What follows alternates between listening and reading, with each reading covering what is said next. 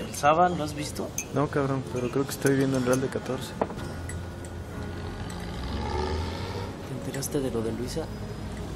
She may be the face I can't forget, a trace of pleasure or Yo te conocí cuando vine a México antes de casarme. Ah. Sí, eras un criazo. Y llorabas mucho porque querías un Thundercat. así. Thundercat, sí, ¿Te oye, qué acuerdas? buena memoria. ¿Qué fumas?